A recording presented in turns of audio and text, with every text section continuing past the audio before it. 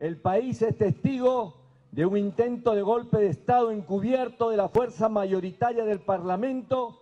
y no tenemos miedo en denunciar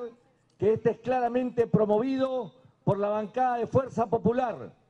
la cual hasta hoy no perdona haber sido derrotada por las fuerzas democráticas en las elecciones del 2016.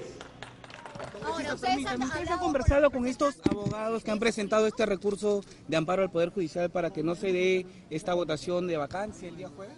Yo particularmente en- como partido, eso no lo hemos hecho nosotros, lo desconozco, en todo caso me informaré adecuadamente sobre eso. ¿Ustedes han